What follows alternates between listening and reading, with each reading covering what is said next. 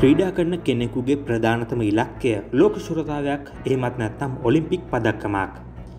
ඒත් ඒ හීනය හැබෑ කරගන්න ලැබෙන්නේ බොහොම ටික දෙනෙකුට විතරයි. සුනෙට් ස්ටෙලා විල්ලියුන් උපත ලබන්නේ දකුණු අප්‍රිකාවේ ට්‍රන්ස්වාල් ප්‍රාන්තයේ. ඩයිහ ස්කූල් රස්ටන්බර්ග් පාසලෙන් අධ්‍යාපනය හදාන්න විල්ලියුන් කුඩා කළ සිටම ක්‍රීඩාවට ඇල්මක් දැක්වා. හෙල්ල විසිකිරීමට ඇ සහජ දස්කම් දැක්වුවත් ක්‍රිකට් ක්‍රඩාව තෝරා ගැනීමට තීරණය කළා. ඇයගේ දස්කම් නිසා විල්ලියුන් ඉක්මනින්ම ජාතික තේරීම් කමිටුවේ අවධානයට ලක් වෙනවා. ඒ අනුව විල්ලියුන් වයසවුරුත් දාහතක් වෙද්දිම ජාතික කණ්ඩෑමට තේරෙන්න සමත් වෙනවා. ඒ දකුණු අප්‍රිකාව නියෝජනය කරපු ලාබාලතම එක්දින ක්‍රීඩිකාව විදිහට.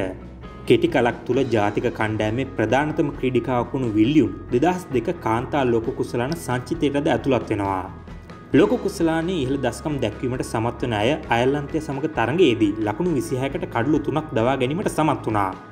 එංගලන්තය සමඟ තරගයේදීද ඇය අගන අර්ධ ශතකයක් රැස් කරමින් සිය කණ්ඩෑමට ජයග්‍රහණය දිනා දුන්නා. ක්‍රිකට් ක්‍රීඩාවෙන් ඉහළ දස්කම් අතර සිටියත් ඇය අවුරුදු දහනමයක් වනවිට ක්‍රිකට් පිටියෙන් සමුගන්නවා. ඒ වන විට දකුණු අප්‍රිකාව නියෝජනය කරමින් එක්දින තරඟ දාහතකට සහ ටෙස් තරගකට සහභාග සිටි විලියොන් තමන් සහභාග වූ එකම ටෙස් තරගේම ශතකයක් රැස් කර තිබීම කැපී පෙවුණා. විලියොන්ගේ ක්‍රීඩා දිවිය සුවිශේෂීම ගමන ආරම්භ කරන්න පටන් ගන්නේ හෙල්ල විසිකිරීමේ ඉසව්වට යොමු වෙලායි. ක්‍රිකට් ක්‍රීඩාව මගේ ලොකු ආසාවක් මෙන්ම මම ඒ ක්‍රීඩා කිරීමෙන් ලොකු සතුටක් ලැබවා. නමුත් මම පසුතැවෙන්නේ නැහැ.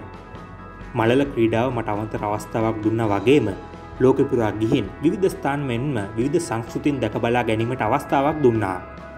ක්‍රිකට් ක්‍රීඩාවට සමුදීම ගැන විල්ලියොන් අදහස් දැක්වුවේ මෙහෙමයි. හෙල්ල විසිකිරීමෙන් ඉතා ඉක්මනින් දකුණු අප්‍රිකනු කලාපේ පෙරමුණට පැමිණි විල්ලියොන් දෙදා සතර ගිම්හන් ඔලිම්පික් කුලලට සුදුසුකම් ලබාගත්තා. විසියෙක් හැවිරිදි යොවුන් ක්‍රීඩිකාවක් ලෙස එම ඔලිම්පික් කොල්ලට සහභාග විල්ලියොන්ට තරංගාවලිය නිමකරන්ට හැකිවුණේ තිස් පස්වනියා ලෙසයි. ඇය ක්‍රීඩාදිවී ලැබූ විශාලතම ජය ලබන්නේ දෙදහස් අය පොදුරාජ්‍ය මණ්ඩලිය ක්‍රීඩාවලලෙදී. තරඟවලියේ හෙල්ල විසිකිරීමේ ඉසව්වේ මිට හැටයි දශම හතයි දෙක දුරක් වාර්තා කළ අය රන් පදක්කම දිනා ගැනීමට සමත් වනා. දෙදා සට ඔලිම්පික් කුලටද විල්ලියොන්ට අවස්ථාව ලැබුණත් එම තරගේද තිස්තුන්වන්නා ලෙස අවසන් කිරීමට ඇයට සිදුවෙනවා.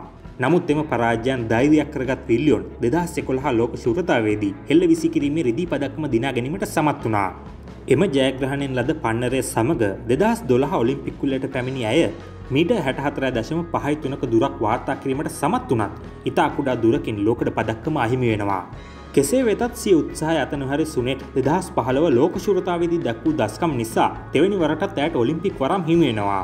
සුනෙට් දෙදහස් දාසේ ඔලිම්පික්කුල්ල සඳහා රියනුවට පැමිණියේ වසර දොළහක් ඔලිම්පික්කුල්ල තුනක් මුලිල්ලේ ඇයට ලබාගත නොහැකි ඔලිම්පික් පදක්කම් සිහිනය කෙසේ හෝ සාර්ථක කර ගැනීමේ අරමුණෙනුයි.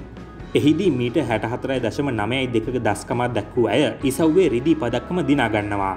ඒ සමගම ඔලිම්පික් පදක්කමත් දිනු පළමු ජාත්‍යන්තර ක්‍රිකට් ක්‍රීඩකයා හෝ ක්‍රීඩිකාව ලෙසද ඉතිහාසගත වන්නට ඇයට හැකි වුණා.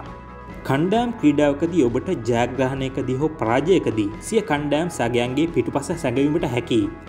ඒත් මල්ල ක්‍රීඩා ජීවිතයේදී ඔබ පිටිය තනිව සිට නිසා තනිවම පරාජය හෝ තනිවම ජයග්‍රහණය කරනවා. සුනට් විලියෝන්.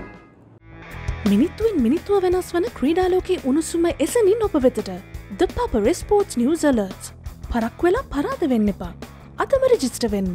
ස්පෝට්ස් කියලා ටයිප් කරලා හයිසිය ඇත්තට වන්න මාසටම රුපියල් තිහයි. කුන්දේ සිසාහිතයි